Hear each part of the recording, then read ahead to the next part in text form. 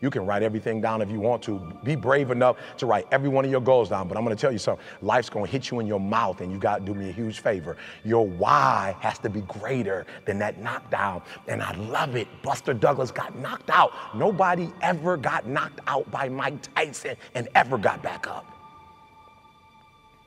It was almost a 10 count. He was stumbling. They were four, three, two, one, and ding, ding, ding, saved by the bell. He goes to his corner. The whole world is like, yep, that's it.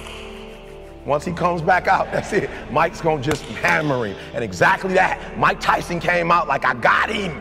I got this kid up against the rope. Listen to me, many of you right now, life's got you up against the rope. You can't give up. You can't give in. Listen to me, if it was easy, everybody would do it. And if life's got you backed up, I need you to do what Buster Douglas did. Buster Douglas started fighting back. The world was shocked.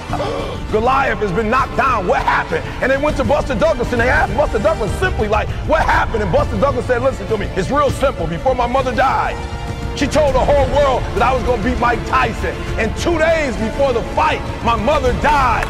Buster Douglas had, he had a decision to make. When his mother died, he could die with his mother, or he made a decision, I can wake up and I can live for mom. And he knocked Mike Tyson out simply because his why was greater than that punch.